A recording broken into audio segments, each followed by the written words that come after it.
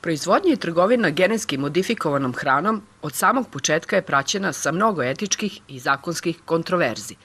Srbija do danas nije postala članica Svetske trgovinske organizacije koja nadgleda i liberalizuje međunarodnu trgovinu – Međutim, nedavnim otvaranjem poglavlja 30 u pregovorima sa Evropskom unijom, koje se odnosi na ekonomske odnose sa inostranstvom, naša zemlja će biti prinuđena da promeni dosadašnji zakon i dozvoli promet GMO proizvoda na domaćem tržištu. Na taj način dolazimo do pitanja da li će se genetski modifikovana hrana uskoro naći i na našim trpezama i šta stručnjaci misle o tome. Primjena genetskog inženjeringa u poljoprivredi dozvolilo je šest zemalja članica Evropske unije.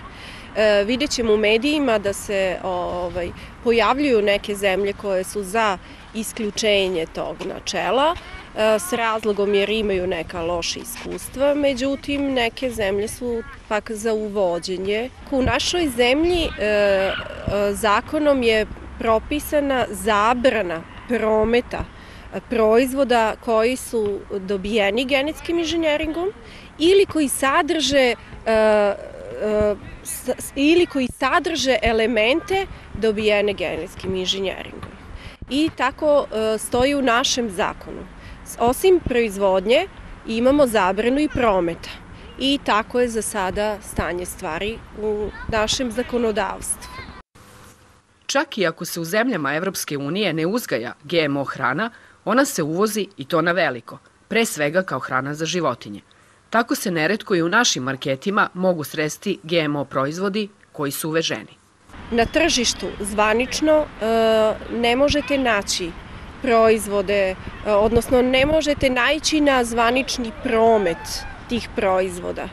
E, međutim, mi imamo u, i, uvoznim, na uvoznim proizvodima, čak negde i u ovim velikim trgovinskim sistemima deklarisano da postoji E, da postoji e, GMO u nekom, ali su to isključivo proizvodi iz uvoza, koji su takvi uveženi i, ove, i deklarisani. To su gotovi proizvodi, pakovani kao takvi. Promet unutar naše zemlje zabranjuje to i nadamo se da sigurni smo u stvari da ga nema u našim proizvodima. Većina zemalja koje proizvode genetski modifikovanu hranu nemaju zakonsku obavezu da tu hranu posebno obeleže i deklarišu. Iz tog razloga praktično je nemoguće pronaći oznaku prisustva GMO na našem tržištu. Iako je trošak proizvodnje organske hrane dva do tri puta veći od genetski modifikovane hrane, to je, kažu stručnjaci, najsigurnija alternativa. Najsigurniji način da, da uh, vi budete spokojni, da znate da niste uneli uh, primese GMO hrane je da ste sigurni da unosite organski proizvod. Mi u zakonu nemamo tu regulativu da je neophodno označiti GMO proizvod, ali imamo u zakonu regulativu gde se organski proizvod isključivo deklariše i obeležava kao organski proizvod. Samim tim, to je vama garant da unosite proizvod koji nema uh, o sadržaj genetski modifikovanih organizama.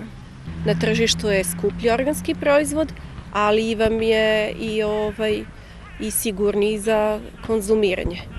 Dok imamo jeftiniju varijantu do proizvoda dobijeno konvencionalnom proizvodnjom, ali se ne možemo ovaj, obazirati mnogo na, na poređenje kvaliteta jednog i drugog. Šira javnost nije naklonjena upotrebi GMO u hrani i to ne samo u Srbiji, već i u Evropi. Što se tiče samih proizvođača sa jedne i stručnjaka sa druge strane, mišljenja o primjeni GMO proizvoda u poljoprivredi su podeljena oko toga da li dati prednost zdravlju ili profitu. Kada su u pitanju agronomi i poljoprivredni proizvođači, e,